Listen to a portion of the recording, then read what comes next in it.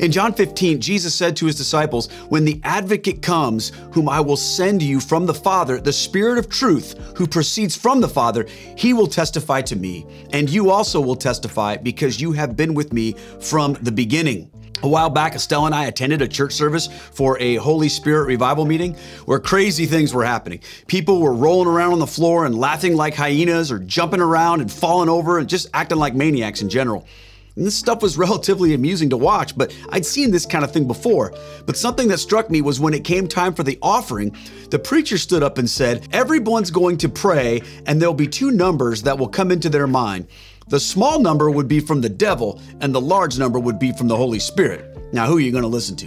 Now, these types of things are legendary, but even just last week, I saw something that made me think about other ways that so called Christians blame the Holy Spirit for their own ideas. At the United Methodist Church's General Conference, the decision was made to abandon biblical teaching surrounding human sexuality and marriage.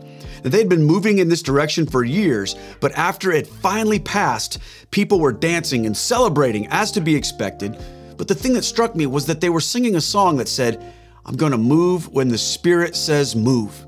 Now, I've heard people say that this movement away from the historic teaching of biblical Christianity, both Protestant and Catholic, is a movement of the Holy Spirit. But according to Jesus, the role of the Holy Spirit is to advocate and help the followers of Jesus fulfill his mission. And the principal way this happens is by continually drawing the church to Jesus.